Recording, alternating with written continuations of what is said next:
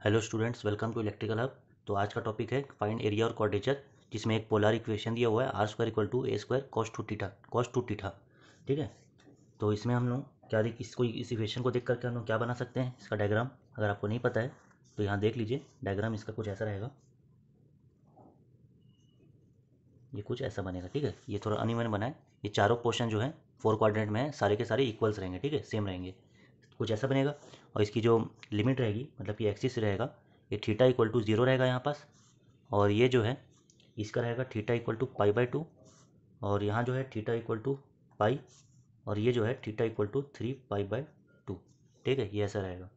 अब यहाँ पास हम एक चीज़ देखें तो ये कैसा दिख रहा है? हम लोग को इसका पूरा का एरिया निकालना है, और चारों एक जैसे हैं। हम लोग अगर एक का यहाँ निकाल लेंगे, एक साइड का तो हम लोग को पूरा मिल जाएगा, इंटू फोर करेंगे तो हम लोग को मिल जाएगा पूरा।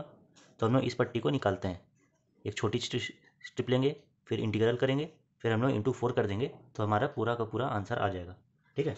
तो यहाँ पर देखिए, पहले लिखेंगे लिमिट थीटा वेराइज फ्रॉम इसमें एक्स तो लिमिट रहेगी नहीं, है ना? जो इंटीग्रेशन इंटीग्रेशन में जो लिमिट डालते हैं, वो थीटा के लिए रहेगी।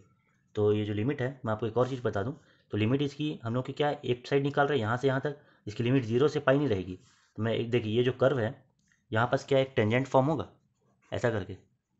और यहाँ पास भी एक टेंजेंट फॉर्म होगा, ऐसे करके।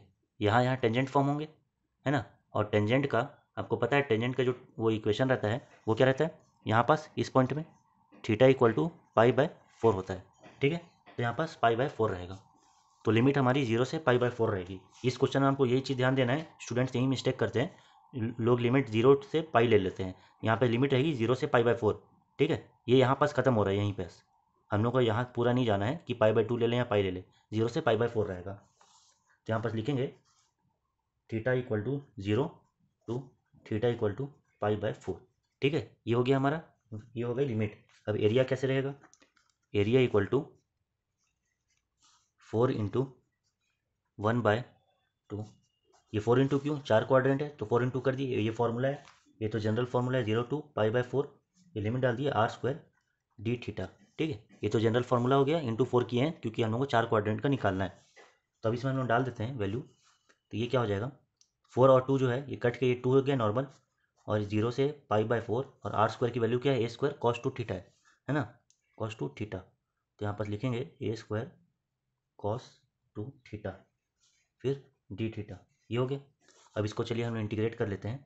तो यहाँ पास आएगा, ये जो ए स्क्वायर है, इसको बाहर निकाल सकते हैं कॉन्स्टेंट टर्म है तो टू ए स्क्वायर हो गया। और कॉस टू थीटा का जो इंटीग्रेशन है, ये क्या है? Sine two theta upon two ये पाई बाई फोर से ज़ीरो लिमिट हो गई, ठीक है?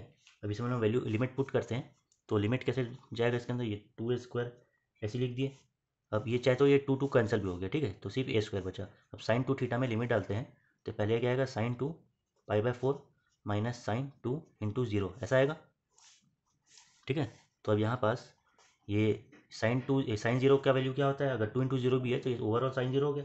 साइन ज़ीरो का वैल्यू ये ज़ीरो हो गया। ये कैंसिल हो गया टर्म और साइन ये जो two two pi by four है, ये टू और ये फोर कट जाएगा तो क्या बचा? पाई बाय टू बचा। मतलब कि नाइन्टी डिग्री और साइन नाइन्टी डिग्री कितना होता है? वन होता है।